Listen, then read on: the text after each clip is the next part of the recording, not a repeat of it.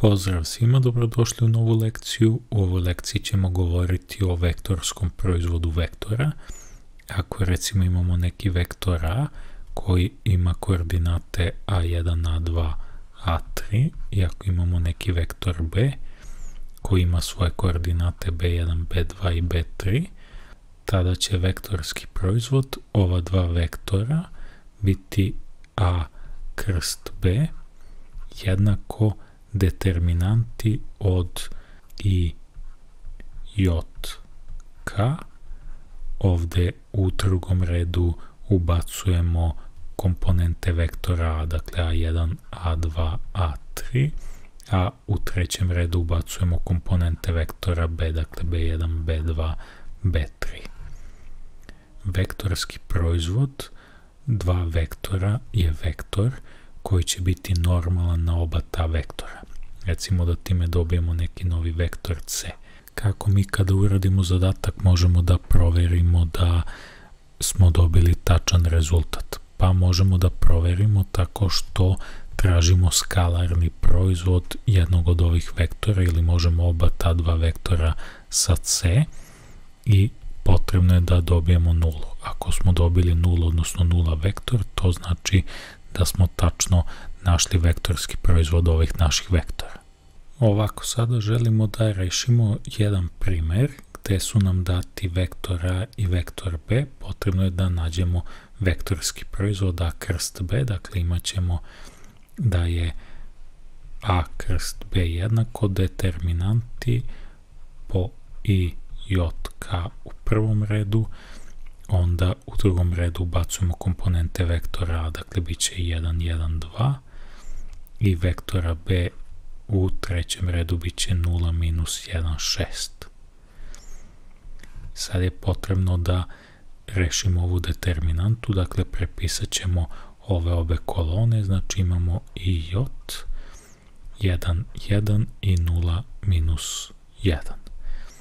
To je sada dalje jednako, množimo ovako, znači bit će 1 puta 6 puta i, ajde pisat ću postupno, 1 puta 6 puta i, množimo 0 puta 2 puta j, znači bit će 0 puta 2 puta j, pa množimo k puta 1 puta minus 1, znači bit će plus k puta 1 puta minus 1, pa sad idemo sa minus, dakle množimo j puta 1 puta 6, dakle bit će minus j puta 1 puta 6, minus množimo i puta 2 puta minus 1, dakle bit će i puta 2 puta minus 1 i množimo k puta 1 puta 0. Dakle, bit će plus k puta 1 puta 0. Sad je potrebno to da izračunamo. Ovde imamo 1 puta 6 puta i, to je 6i. Ovde imamo 0 puta 2j, to je bukvalno jednako nuli. Ovde imamo 1 puta minus 1, to je minus 1, znači bit će minus 1k. Onda imamo ovde minus j puta 1 puta 6, to je minus 6j. Ovde imamo 2 puta minus 1, to je minus 2 i puta minus 1, to je plus 2i. I ovde imamo k puta 1 puta 0, to je jednako 0. I potrebno je sad samo ovo malo da sredimo. Dakle, imamo ovde 6i i plus 2i, to je 8i. Onda imamo minus 6j i imamo minus 1k. I sad to kad poređamo u obliku vektora dobit ćemo da je to jednako 8 minus 6 minus 1 i to je recimo naš neki vektor da ga nazovemo c.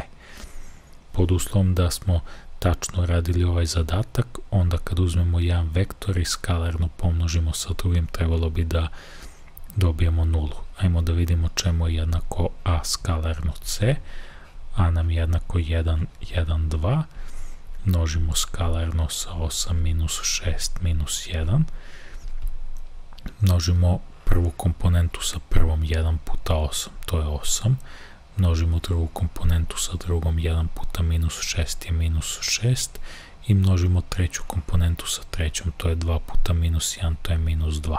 Dakle, imamo da je to 8, minus 6 minus 2 je minus 8, rezultat je 0. Dakle, dobili smo ovaj tačan vektor C kao rešenje, odnosno kao vektorski proizvod ova dva vektora. To je to što se tiče ove lekcije, vidimo se u narednoj lekciji, pozdrav i sve najbolje.